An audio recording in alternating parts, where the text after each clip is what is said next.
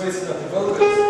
Un tad reiz man, protams, kā eh, daudz runāt. Eh, Mēs jau redzam, ka jau kā, kaut kādu praksi, kaut kādu pieredzi mēs šodien jau dabūjam pat no mūsu balsojuma procesa.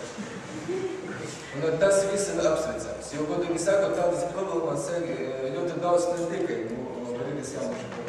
Tādas problēmas daudz arī Rīgas domas, arī Sēmā un citas pašvaldības eh, domas. Mums visiem ir jāsaprot, ka kaut ko izmainīt mūsu valsti, mūsu saimniekā, mēs varam tikai kopā. Mums ir visiem ir jāsaprot, ka tiešām uz politiku ir jāiet un būt точно zināt, kā un, kā, un kas jādara. Bet eh, mēs nevarēsim neko iztenot, ja nav nekāda sapratnes. Jā, bet mēs, protams, ka varam visus kritizēt. Un varbūt ļoti pamatīgi kritizēt. Un vienlaikus neko nepiedāvāt savu, nepiedāvāt nekādu risinājumu. Lai tā nebūtu, mēs labprāt aicinājuši pilnīgi visus. Un visas Latvijas, un visu Latvijas pastu visā. Lai viņi ne tikai kritizē, vai piedalās kaut kādas akcijas, kādas, kas tāpēc, tāpēc rada ļoti interesantas.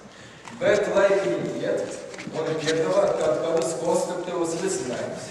Ar kaut kādiem metodiem, ar kaut kādiem risinājumiem mēs varam izlabot mūsu situāciju pilsētā un e, visā valstī.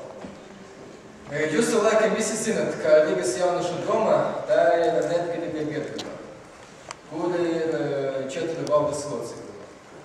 Tur ir valdes locekļi gan no jauna laika, gan no pilsoniskā saimnība un arī no patriotu no Verno saskaņas. Kā neatkarīga biedrība, mēs varam iesniegt jebkuras iesniegumus uz īstu Rīgas domu. Bet eh, pirms tam, kad mēs to darīsim, mums nu, vajag, vajag saprast, kad notiek, kas tur notiek un kā. Mēs vajag, mums vajag saprast, kādi jautājumi tur, tur ir risināti. Mēs, mums vajag īstenot kaut kādus tiešām, ne vienkārši kaut, kaut kādus kritiku vai kaut kādu novotējumu, bet iztikt kaut ko labu, iztikt savus īstus priekšlikumus. Bet um, uz dotu brīdi es negribu nevienu apvainot, nu diez vai mēs to varēsim. Mums ir jāmācās. Mums ir jāmācās, ar ko nodarbojas Rīgas domas, ar ko nodarbojas saimnieki. Šis ir Rīgas jauniešu doma projekts pēc savas būtības, vismaz pirmā etapa, būs tāds ļoti interesants diskusijas būs, kur mēs diskutēsim par ot, pilsētas, par aktuālām jautājumiem, kuri saistīti ar pilsētu attīstību un ar jaunu. Mums, protams, ka tiešām vajag jāmācās diskutēt, vajag nepazeminot viens otru, vajag izteikt kaut kādus konstruktīvus risinājumus. Mēs diskutēsim pēc Rīgas domas reglamentiem. Piecas minūtes, ne vairāk. Būs vārdā par pirmu jautājumu un trīs minūtes pēc otru. Un, un, un trīs minūtes, ja esmu tas pats cilvēks, gribat diskutēt par to, šo, par to pašu jautājumu.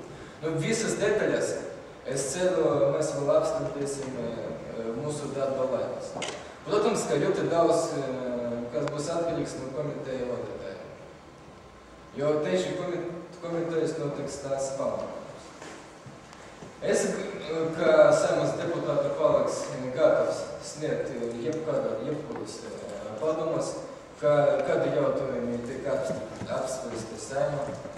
Mēs gatavi piedāvāt Rīgas domas deputātus un Rīgas domas ierēģņus padomus, ja mums paldies Dievam ir visādi sakari ar to. Un mēs, protams, ka būsim pateicīgi izlasīt kaut kādas nopietnas priekšlikumus arī no tiem partijām, kuri Rīgas domas ir opozīcija, bet kuri saimā ir valdīša koalīcija.